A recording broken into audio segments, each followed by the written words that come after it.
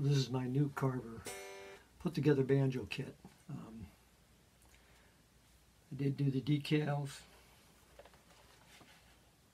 and uh, still working on putting it back together. But uh, here's a little song that um, um, I kind of practice with, but I call it uh, Little Nash, Little Nash Rambler in Traffic. Okay.